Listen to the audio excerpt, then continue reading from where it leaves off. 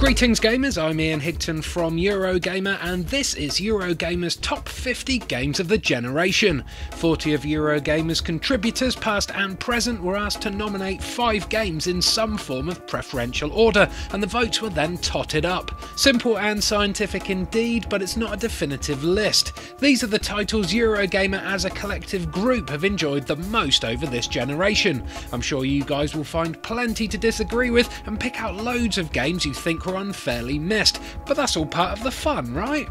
Let us know your games of the generation in the comments section below. I've listed the rules in the video description so you know exactly what platforms you can choose from.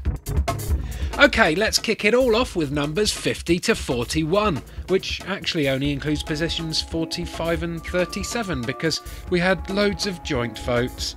Oh. Coming in at joint 45th is Yakuza 4. This organised crime em up RPG is set in a fictionalised yet incredibly detailed and realistic recreation of Shinjuku's red light district, and it features so many cutscenes it would make even Metal Gear Solid 4 commit Yubitsume. Another entry at 45 is The Witcher. Geralt's PC based adventure only managed to get 7 out of 10 in the official Eurogamer review, but that didn't stop The Witcher casting a spell on us all and gaining its place in the charts.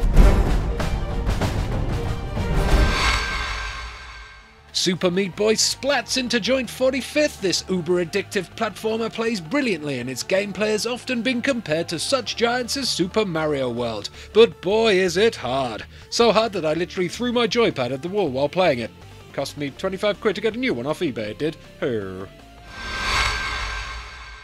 45's alive again, but this time it's been left for dead by Valve Supreme Zombie Shooter. It's fast, it's scary, and played with a bunch of mates is one of the best multiplayer experiences you could get this generation. Merry Christmas.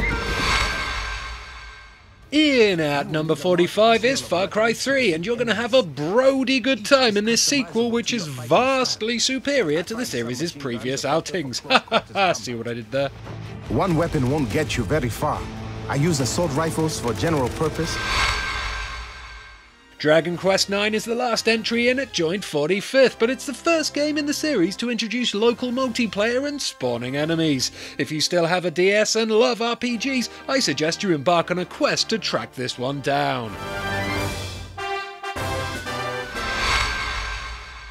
Number 37 in the charts is filled by not one game but a whole series. FIFA remains the most popular footballing series around, and if you love playing with balls, chances are you've tackled at least one FIFA game this generation.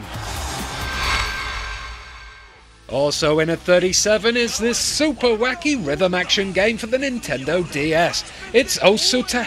Osuta. Osuta. Oh man, I'll just let this guy tell us. Oh, thanks.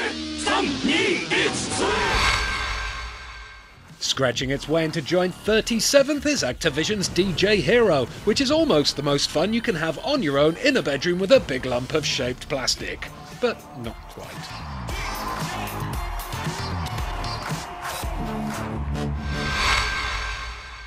And finally, it's number 41 here, but it's joint 37 overall in the charts. It's Halo 3. Gravel voiced Master Chief's third outing, but his first appearance on the Xbox 360. Can 343 Industries top Bungie's beauty in the next generation?